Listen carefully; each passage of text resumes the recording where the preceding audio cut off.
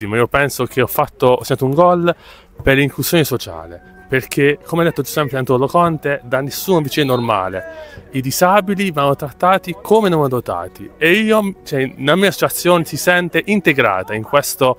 ottimo evento sportivo. Una giornata di molta allegria, felicità, questo è il calcio, anche, anche essere felici anche avere un momento di, di, di, di gioia tra noi. Questo il nostro successo è dovuto all'inclusione delle persone che vengono facilmente escluse perché non hanno quelle eh, performance richieste dai contesti sportivi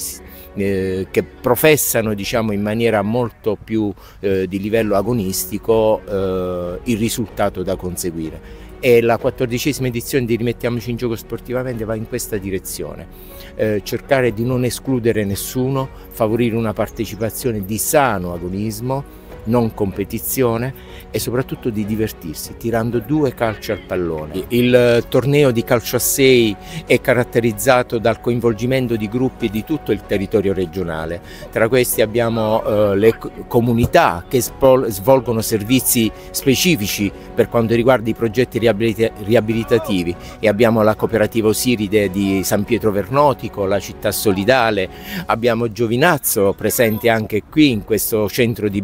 Bitondo, abbiamo la cooperativa Antropos per salire poi al nord dove ci sono dei centri diurni Itaca e Arcobaleno dell'ASL di Foggia, l'associazione Tutti in Palla, l'associazione La Grande Quercia, abbiamo Giga 2000 di Taranto,